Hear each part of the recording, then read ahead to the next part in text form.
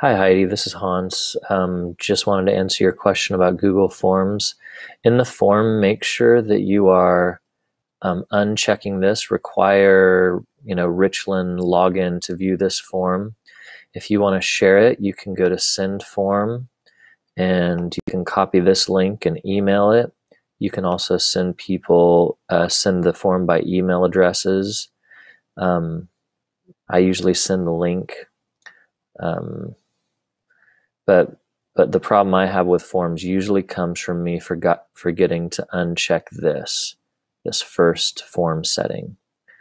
And then from file, you can also email collaborators after you've shared with them. But I hope that answers your question.